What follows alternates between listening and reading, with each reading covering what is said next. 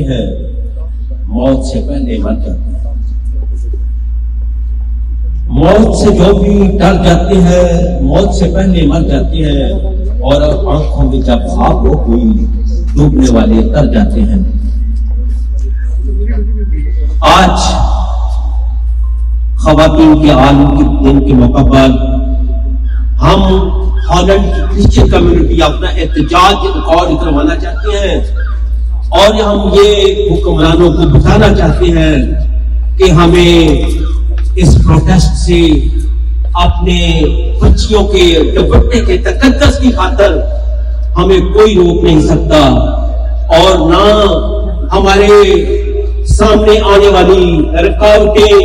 وہ ہرڈلز، وہ پریشانیاں کوئی روک نہیں سکتا اور نہ ہمیں جب ہمارا ویژن، ہماری کاز ہمارا مشن سچا اور نیک ہو تو ہم کسی پریشانی کا شکار نہیں ہو سکتے۔ اور میں یہ بتانا چاہتا ہوں کہ آئے دن ہماری بارہ سالہ،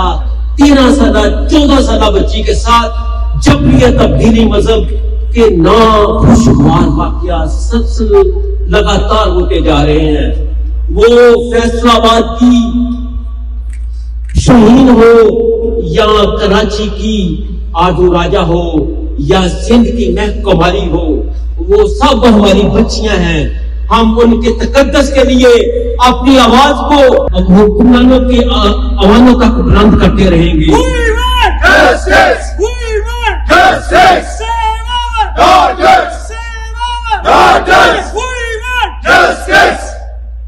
اور میں یہ بھی کہنا چاہتا ہوں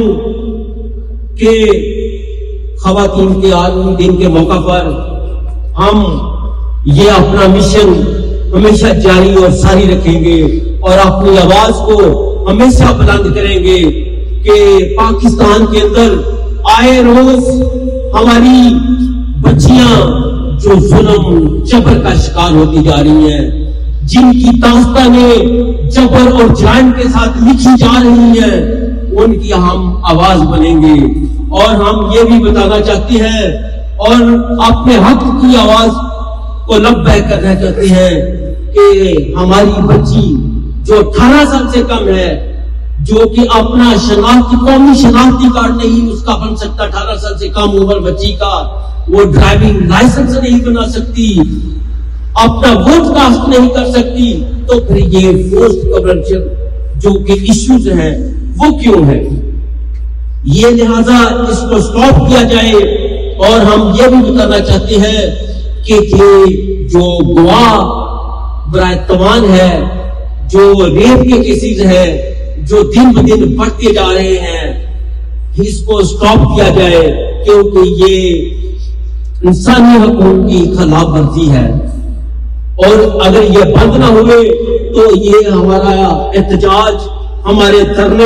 اسی طرح جاری اور ساری رہیں گے۔ اور ہم یہ بھی بتانا چاہتے ہیں کہ یہ جو میاں مٹھو ہمارے ارد گرد پھیلے ہوئے ہیں پاکستان کے اندر، اگر ان کو بند نہ کیا گیا،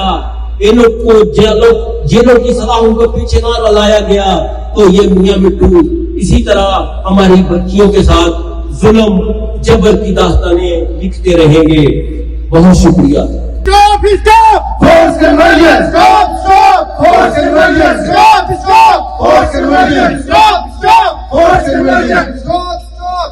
Conversion!